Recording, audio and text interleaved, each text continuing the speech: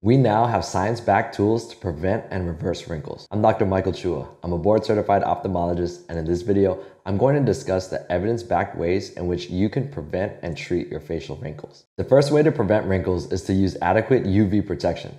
Those harsh ultraviolet rays from the sun can damage the DNA in our skin cells, as well as break down collagen and elastin in our skin. So, good UV protection is crucial in preventing signs of aging. This study from Australia in 2013 was a randomized controlled trial to investigate the effects of a supplement called beta carotene and daily sunscreen use on photoaging and the development of wrinkles. They split up 903 research participants into four groups. One group used sunscreen and took 30 milligrams of beta carotene daily. One group used sunscreen daily and took a placebo supplement.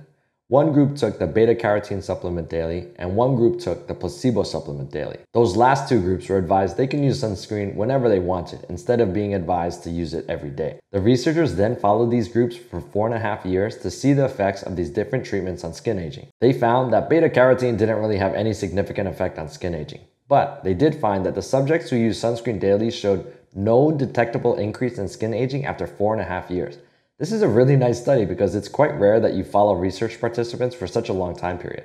In this case, four and a half years. And the finding is quite impressive. I mean, no signs of skin aging over an almost five year time period for the daily sunscreen group. Who knows how much longer the effect could have been extended if they continued to follow these groups out for a longer time period.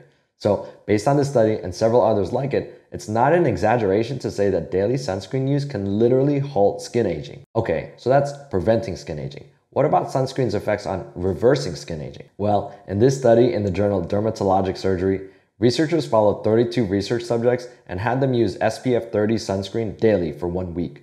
Dermatologists evaluated their faces at week 0 as a baseline, as well as week 12, 24, 36, and 52. They found that patient skin had begun to improve by week 12, and the improvement continued all the way through week 52. Skin parameters such as skin texture, clarity, and pigmentation improved from 40 to 52% compared to baseline evaluations and they found that 100% of subjects exhibited improvement in skin clarity and texture. They concluded that daily use of broad spectrum sunscreen can not only prevent, but also reverse the signs of existing photoaging. Now, we need to temper our expectations from this study a little bit. If we read the fine print, we see that this research project was funded by Johnson & Johnson, and the authors were all either employed by or paid by Johnson & Johnson. Obviously, J&J has commercial interest to tout the incredible effects of sunscreen products, for example, they own the popular Neutrogena line of sunscreens. But I will say there are several studies, such as that Australian study and other studies from independent academic institutions, which all show the power of sunscreen in preventing wrinkles and photoaging. In the past, I usually only wore sunscreen on days where I knew I would be outside for extended periods of time,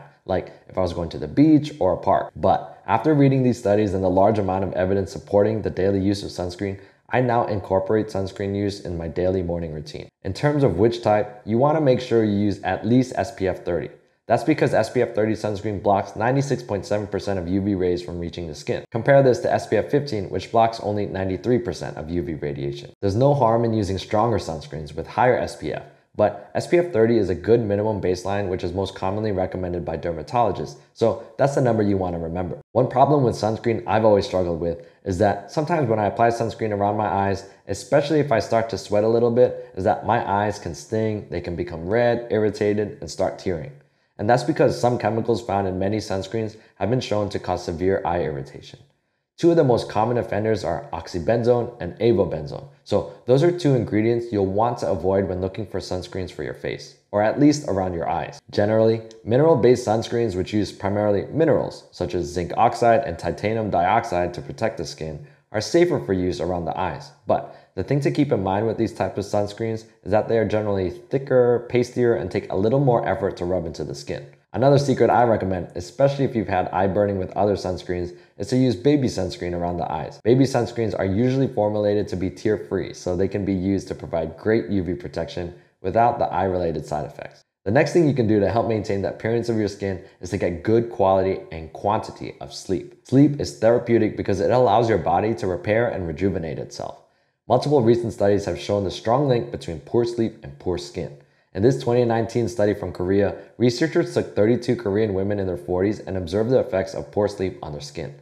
They followed these women for two weeks. In the first week, subjects slept 8 hours per night, and in the second week, subjects slept only 4 hours per night. They measured each research subject's sleep time using smartwatches to make sure they were sleeping the pre prescribed amount of time per night. Then, throughout the two weeks, they used specialized sensors and cameras to obtain objective data of patient skin, measuring variables such as skin hydration, skin gloss, elasticity, and wrinkles in the crow's feet and frown line areas. The results are pretty impressive. Here's a graph of facial skin hydration, and you can see as patients were switched from 8 hours of sleep to 4 hours of sleep, skin hydration basically fell off of a cliff and dramatically decreased. For skin gloss, you see the same effect, with a decrease beginning just one day after patients were deprived of sleep. Skin transparency increased, as well as under eye yellowness and redness. Skin elasticity dropped and continued to keep decreasing further as patients continued to have more sleep deprivation. And wrinkle measurements of crow's feet and frown lines were significantly increased after subjects started sleeping only four hours per night. So, all across the board, skin appearance suffered significantly with sleep deprivation. These findings were backed up by another study, this one out of Ohio, which showed basically the same thing. Good sleepers had lower skin aging scores compared to poor sleepers. So it's clear that good quantity and quality of sleep is vital to great skin. We should aim for seven to nine hours of beauty sleep per night. This is the time required for your skin to undertake its nightly renewal, which helps mitigate the impacts of environmental stresses and keeps you looking young. The next lifestyle changes you can make to prevent wrinkles and maintain the appearance of your skin are to avoid smoking and alcohol. This 2019 study surveyed 3,267 women from the US, Australia, Canada, and the UK to investigate whether there was an association between smoking on skin appearance and alcohol consumption on skin appearance. The researchers found that smoking was associated with increased severity of forehead, crow's feet, and 11 wrinkles, as well as under eye puffiness, tear trough hollowing, and perioral lines. They also found that heavy alcohol use, which they defined as greater than 8 drinks per week, was associated with increased upper facial wrinkles, under eye puffiness, and mid face volume loss. So, both smoking and drinking excessively have been shown to hasten the skin aging process. These results serve as a good reminder that our daily lifestyle choices can have significant effects on our skin both now and in the future. Making better choices in our daily lives has many positive effects on our health and well being, including helping us keep our skin looking fresh and young. Another way to decrease the appearance of wrinkles is to use good quality moisturizer daily. Moisturizers help to trap the water in our skin to keep our skin soft and hydrated. This will help our wrinkles to be less noticeable, although it won't necessarily prevent wrinkles from forming. And you don't have to equate cost with quality when it comes to skincare products. Even a reasonably priced moisturizer like my personal favorite CeraVe is totally good enough and very effective. By the way, I don't have any financial relationships with any of the products I mentioned in this video. I don't have any affiliate links or anything like that to sell you. So far, we've discussed UV protection, sleep, avoiding alcohol and smoking, and regular moisturizing as some of the most effective ways to prevent and minimize the appearance of wrinkles. I believe these habits should make up the pillars of your skincare protection regimen. Now, we'll talk about some other treatments that have also been shown in clinical studies to be effective in the prevention and treatment of wrinkles, but I'll also explain some of the drawbacks of these interventions. Let's first discuss retinol, a key ingredient in many skincare products that has gained popularity. Many anti-aging skincare products revolve around this powerful ingredient because of its reputation for reducing the appearance of fine lines and wrinkles. Retinol's ability to improve fine lines and wrinkles in aged skin has been highlighted in several research articles. When used regularly, retinol may provide the appearance of younger, healthier skin. But retinoid medications do have some drawbacks. One negative effect that has come to light is an increase in dry eye symptoms. Oral retinoids have been shown to cause atrophy and shrinking of the oil or sebaceous glands in our skin. This helps to clear up the appearance of our skin, but we also have important oil glands in our eyelids called meibomian glands. These meibomian glands help secrete oil into our tears to help prevent our tears from evaporating.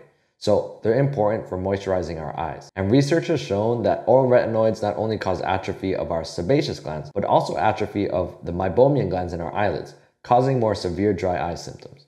The development of dry eye syndrome after oral retinoid use is a very real risk for those prone to or already suffering from dry eyes. Now, there actually hasn't been any peer reviewed or randomized controlled trials exploring the effects of topical retinols or creams on dry eye disease. But anecdotally, in the experiences of my patients and in my own experience, I found that topical retinols applied around the eyes can and often does make dry eye worse. It's plausible that if you apply high enough dosage of topical retinoids onto the eyelids for a long enough treatment period, that you can induce similar destructive effects to the meibomian glands and cause evaporative dry eye disease. So, if you do use topical retinoids for their anti aging properties, I'd recommend keeping at least a two finger width safety zone away from your eyelids where you do not apply any topical retinoids to avoid the potential side effect of meibomian gland atrophy and dry eye disease. And if you already suffer from dry eyes, you may want to avoid retinols altogether. Okay, the next method we'll consider for keeping skin looking young and healthy are collagen supplements. Collagen is essential to the skin's health and flexibility and is sometimes called the building block of the skin. Unfortunately, with aging, there's degradation of collagen fibers,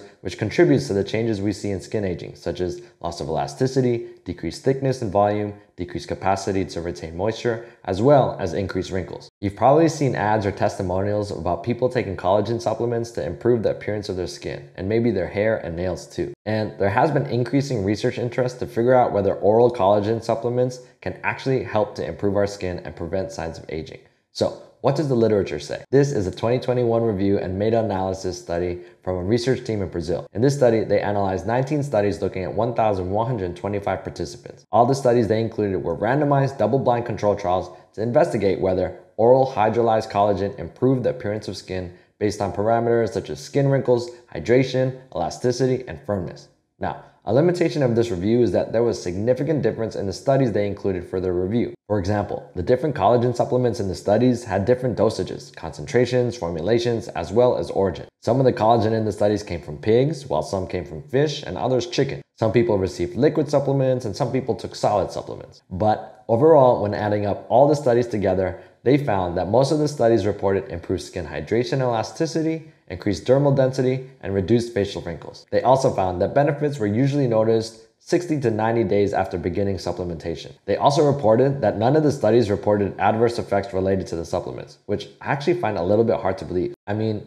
in many randomized control trials, even when you give research subjects a placebo pill, a very small percentage can also report side effects like nausea or GI upset. So it's interesting that in over 1,000 people, not a single person reported a side effect, not even a mild one. But putting everything together in terms of research on collagen supplements, I think the overall finding is that collagen supplementation is effective at helping improve appearance of skin and reducing skin wrinkles and is generally safe.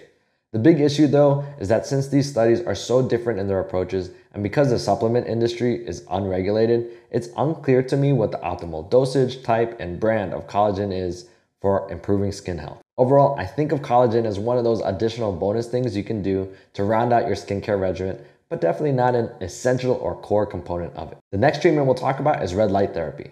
Red light devices and masks have been trendy lately, and there's actually quite a bit of scientific evidence to back it up. The theory behind red light therapy is that red light can boost the function of the mitochondria inside of our skin cells. You can think of the mitochondria as the powerhouse of our cells. So when it's stimulated, the mitochondria can produce more energy for the cell, allowing cells to perform their functions more effectively, such as skin repair, promoting new cell growth, and facilitating skin rejuvenation. Red light is thought to stimulate collagen production, enhance blood circulation to skin tissues, and reduce inflammation within cells. In this study, published in 2020, researchers recruited 24 subjects who used a home use red light LED on the left side of their face twice a week for eight weeks.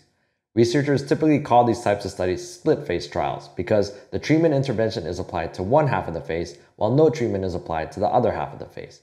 After eight weeks, the side of the face which received the red light therapy exhibited improved elasticity and skin texture compared to the untreated side. These findings have been supported by other studies, which have also shown that red light therapy can improve the appearance of wrinkles as well as improve skin hydration and texture. The tricky part with red light therapy though is that you have to commit a lot of time to make it work.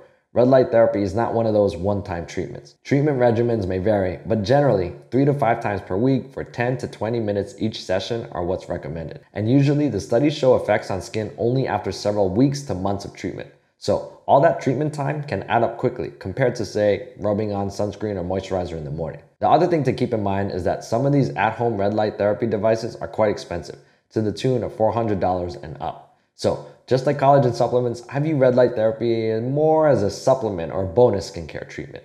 So, in summary, we covered some of the most effective ways to prevent and treat facial wrinkles, including UV protection, adequate sleep, avoiding alcohol and smoking, and regular moisturizing.